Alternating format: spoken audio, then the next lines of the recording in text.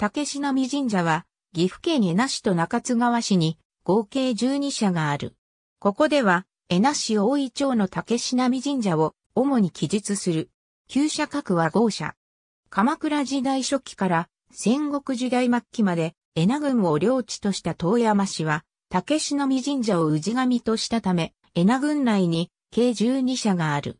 江那市内には他にも岩村町、竹並町竹織、竹並町富士、長島町くすみ、三里町、野井、三里町佐座両木に、竹志並神社があり竹志並七社と称する。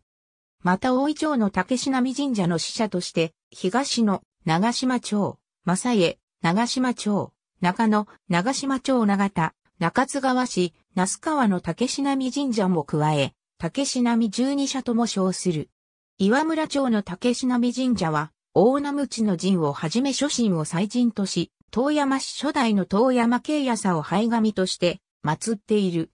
建立は岩村藩神社調べに延久元年鎮座と書かれているが、父の加藤慶蓮を祀る岩村城内の八幡神社建立の少し後、鎌倉時代末期、あるいは室町時代初期の建立と考えられている。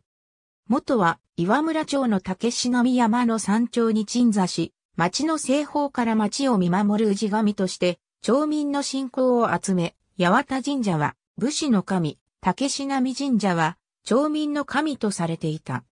寛永八年岩村藩主松平の織ことぶきが壮大な社殿に改築し、慶長が神輿に乗って父の慶門に会いに行く。それに大勢の町民が具舞するという岩村町秋祭り行事をはじめおぼした。この行事は岐阜県無形文化財に指定されている。